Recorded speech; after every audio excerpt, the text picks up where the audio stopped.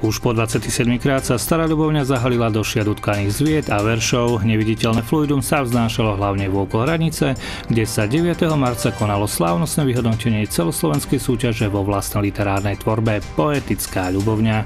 Tento rok sa pred oči poroty dostalo viac než 350 prác od 85 autorov, medzi ktorými nechybali ani domáci a tí zďaleka neboli len do počtu. 13 z nich si totiž z obradnej siene odnieslo niektorú z cien.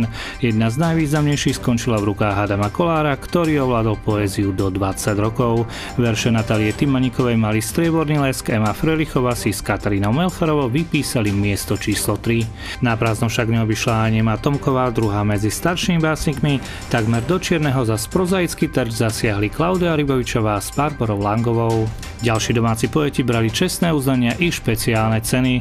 Porota tu svoju prisúdila Zuzane Chmeliarovej, cenu Ľubovňackého literárneho klubu si prevzal Marek Jaroš a cenu otca Vasilia Kočembu Jana Biganičová. Hlavnú cenu Ľos a teda šťastnou majiteľkou Ľubovňanského olúvka sa stala Magdalena Martišková Stopolčian.